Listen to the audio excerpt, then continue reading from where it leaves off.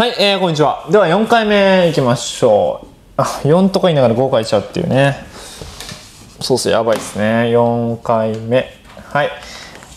ちょっとインクがなく、変えようかな。後で変えますわ。はい。えー、4回目は、まあ、2次関数なんですけど、2次関数の、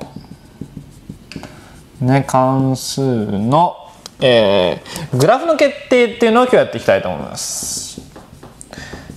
まあ、どんグラフを選べってそういう問題ですね。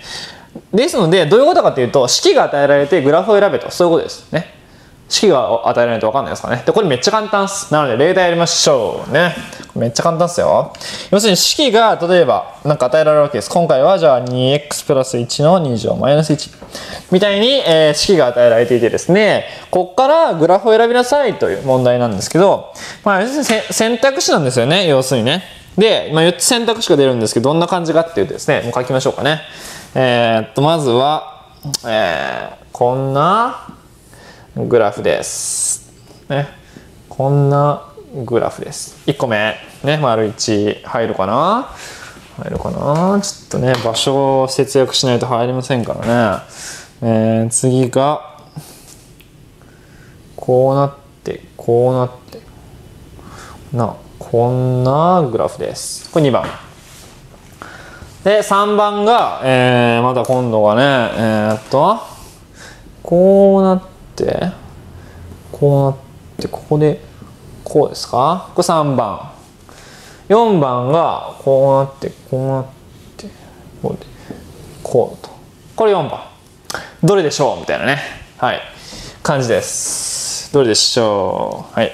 これ簡単です。もうね、爆笑みたいな。もうマジで簡単なんで、えー、一緒に考えていきたいんですけどもね。答えは、えー、っとですね、答えは、これです。これが答えです。はい。えー、で、どうやって求めていくかというとですね、頂点です。頂点。ね。要するに頂点。頂点で勝負です。えー、頂点はと言われるとですね、これ、ここから頂点は皆さんすぐできると思いますが、符号解でそのままですから、マイナス1、マイナス1と、こういうことがわかりますね。ということは、頂点の x 座標も y 座標も共に負だと言ってるんですから、そんな例はここにしかありません。ね。夫婦ですね。こっちは x 座標、座標は正になってしまってます。こっちは y 座標、こっちも y 座標が正になっちゃってますから、ダメ、ダメ、ダメということで、結果的にこれしかないですよ。ということで、これが選びます。はい。